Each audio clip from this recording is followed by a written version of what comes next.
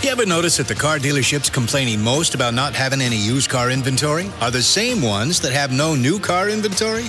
That's no coincidence. You see, when new car sales stop, so do trade ins. Then the only way for dealerships to get used cars are from wholesalers or the auto auction. That's where you go to get cars by bidding more than everyone else and then paying big fees on top of that just to do it. Can't save any money buying cars at an auto auction. Well, Sunset Chevrolet isn't going to any auctions because they still have lots of new Chevys and are still easily Washington State's number one volume Chevrolet dealer every single month. That means lots of clean local trades. In fact, Sunset has over 500 used vehicles in stock every single day, and most include warranty protection for life.